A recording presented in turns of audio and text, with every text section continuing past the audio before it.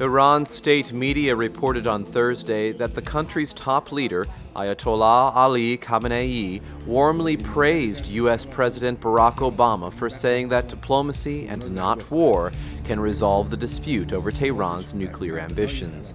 Khamenei said, These words are good words and an exit from delusion. The Associated Press noted that such an accolade from the Ayatollah is one of the rare cases in which Iran's top leader praised an American leader. The irony is stark, since the Islamic Republic's mullahs are violently anti West. In fact, Khamenei and other top Iranian leaders regularly refer to the United States as the Great Satan. President Obama has taken the Iranian crisis as an opportunity to paint his critics as warmongers. As a direct result, the president is giving Iran the ingredient it needs most to finish its first nuclear weapons time.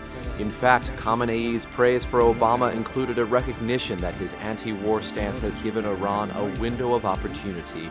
Praise from one of America's worst enemies indicates that there are deep vulnerabilities in America's foreign policy. It also indicates that the very highest levels of America's executive leadership are dangerously weak. At the opposite end of the spectrum, Khamenei's foreign policy is becoming so dangerously bold that Khamenei can not only make such remarks, but make them in public. When Iran obtains nuclear weapons and becomes a terrifying Islamist regional power, many will look back on these recent events as one of the milestones along the march toward a nuclear world crisis.